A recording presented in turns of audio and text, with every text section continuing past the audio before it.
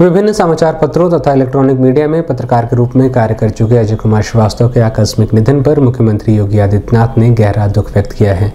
वहीं उन्होंने मुख्यमंत्री विवेकाधिकार कोष से पाँच लाख रुपए की आर्थिक सहायता देने की भी घोषणा की है।